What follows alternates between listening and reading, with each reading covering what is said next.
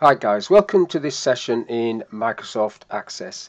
In this module I want to continue building up the HR database that I've been looking at over the last four videos. This is part 5. What I want to do in this little video is create a holiday table and then attach it to the rest of the database. So at the top there I've got table 1 which I'm just going to delete, don't want that one, I'll redo that from scratch. Now, just to remind you what we've got, we've got staff, table of staff, and courses, and a table for absenteeism. For close those three, and created a form, staff records, which basically showed you that information. I want to add a third subform here that will allow me to do holidays but I need to create the table first and link it into the rest of the database. The database relationships are sitting there, so this table will just hang off here, that being the central table. So let's create one, create table in design. So the fields I want is, this is going to be holiday ID, that'll be the primary key. It's going to be uh, an auto number field so just press A to do that. Then I want allocated. That's going to be a number as well because that's going to be the number of days allocated. And then start date. It's going to be date time. Spell it right. Start date. Date time. I'll format that in a minute. End date. Date time and then duration. Duration needs to be a calculation. So if I just type CA there and press enter on that it'll open up the expression builder. So what I need to have is going to be um, the duration is going to be the end date minus the start date. So when you refer to fields you need to put them in square brackets. End date minus in square brackets start date. It's not case sensitive so you didn't I didn't have to do that but click OK to that and then that sits down at the bottom there. So that's duration. After duration I want remaining remaining days and that's going to be a calculated field as well.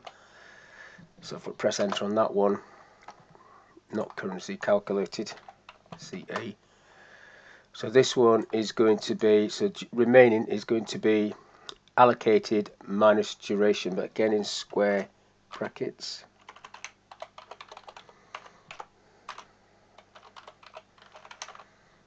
Like that, allocated minus duration, okay.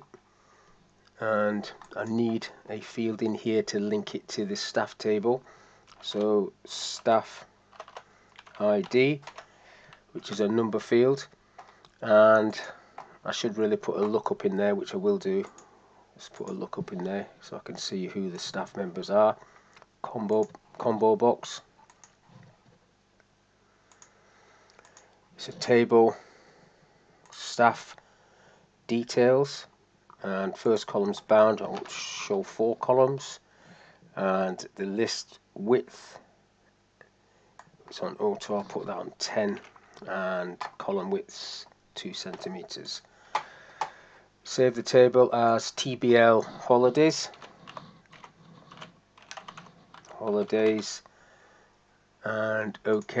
Haven't got a primary key. Forgot to do that for holiday ID. That's going to be the primary key. There's a little key symbol. So that looks OK. Let's have a look at it. Save. Okay, so I haven't done the input masks, which I need to do all date fields. So the start date down the bottom there input mask second line down. I want that to be short date. Short date. So it's like that. Finish. End date. Same thing. Input mask. Short date. Save table. Short date check it's there finish, save, have a look. okay so that's the prime that's the uh, primary key. So let's say you get 10 days allocated. And I should have staff def staff ID at the other end actually. Let's just go back into design. Move that up. If you don't move it up in design it'll um, queries and so such will not look at that order. So keep that order save have a look. So staff ID going to select something now. Select myself I'm allocated 10 days. Press tab start date today. Press tab end date. Um, let's go the 5th 12th 20 23 when I press tab that should do the duration. Does and the remaining is telling me I've got 8 left. Great so that is working. If I tab down and do some somebody else staff ID number 2 so they've not got any they can be allocated 20 days. Going today um, but they're coming back on the 21st of the 12 2023 tab. So they've got that's 18 days so they've got two days remaining. So okay that's good. So now what I want to do is just link this up to the rest of the database through here relationships. Just bring that on there holidays TBL holiday. So it's going to be staff ID to staff ID staff ID to staff ID make sure you tick that. One to many I'm checking. Create create that link. Sit it in so it's nice and tidy. Make sure you can see all the fields. So that's happy with that. Save now what I should be able to do if I close this is go to my form in design. I'll go to design on that. And then I want to draw or do another subform. So that's these controls at the top there. Across the, all of these you've got subform sub-report. No point trying to make it match at the moment because you have to go and change it. So I need to select that table holidays and I want all the fields across. Just follow it through. It should pick up the link. It has. Yeah, I'm going to leave that there. I don't like these. I could change them later on but oh let me just finish that at the moment.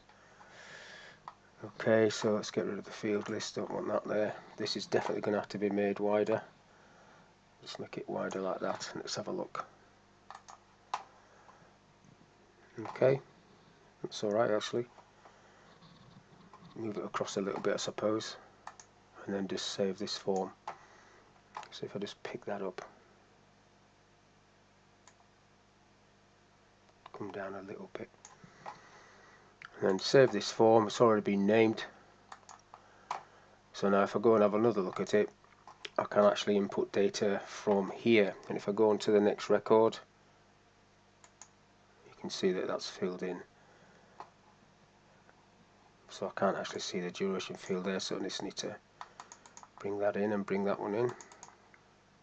So I can see it staff ID is taking a massive amount of space. You can actually delete staff ID out of there like I have done on, the, on those ones. Okay that's good. So just going to design on this. Let's get rid of staff ID from there. Don't need it. Save that. It's already got the link. And it just tidies that up a little bit because you can see the staff ID at the top. Okay so that's all I want to talk about in this little video. Thank you for your time and I'll catch you on the next one